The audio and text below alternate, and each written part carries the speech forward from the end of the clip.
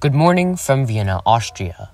Today I'm flying Austrian Airlines E195 economy class product to Geneva, Switzerland. After checking in and making it through security, I made my way to the F gate, specifically F22. Pulling into the gate is my aircraft for this morning's flight. This Embraer E195 aircraft, registered Oscar Echo Lima Whiskey Charlie, was delivered new to Lufthansa CityLine in April of 2010 before moving on to Austrian in January of 2017. This aircraft was 12 years old at the time when I flew on it. Boarding commenced on time as I made my way to seat 18A. Let's take a look around the seat.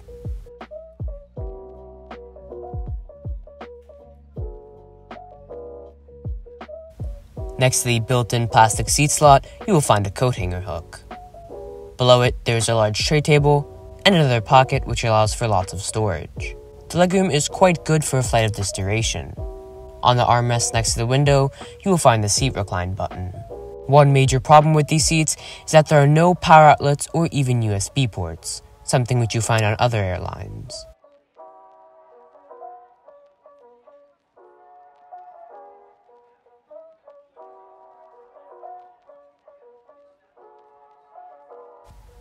Our pushback and taxi commenced on time.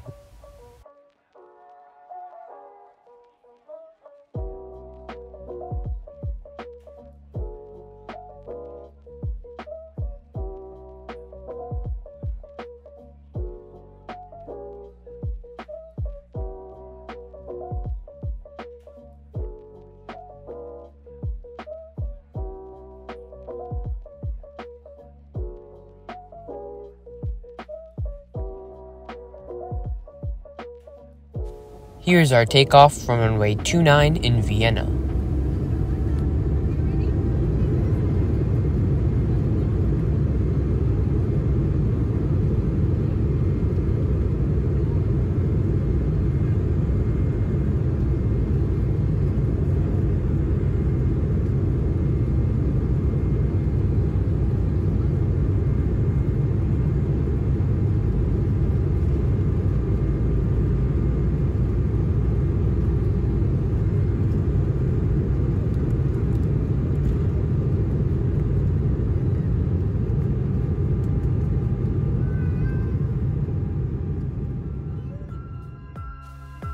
The views during our ascent and cruise were stunning, especially on a sunny day like this one.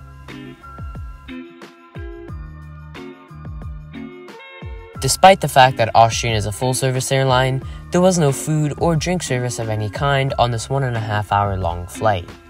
This is disappointing as most other European airlines Lufthansa, LOT, and KLM, among others, serve some sort of beverage and a sweet or sandwich of some kind on flights of this very same duration. There is no Wi Fi on board either, but on a beautiful flight like this, it probably isn't needed. After enjoying these wonderful views for around an hour, our descent commenced into Geneva.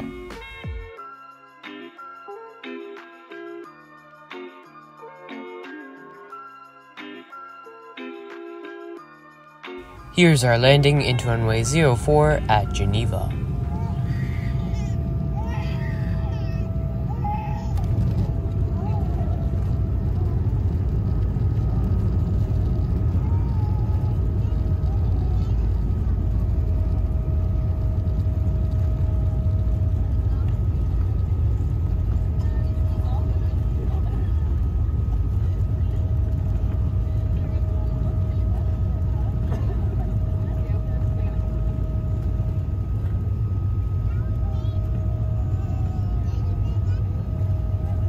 Overall, I'd rate this flight 8 out of 10.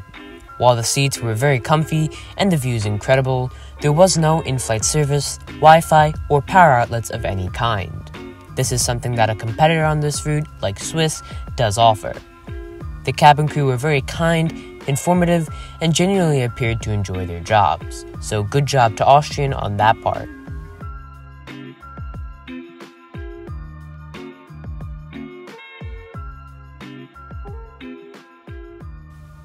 Anyways, that's all from me. Until next time, see ya.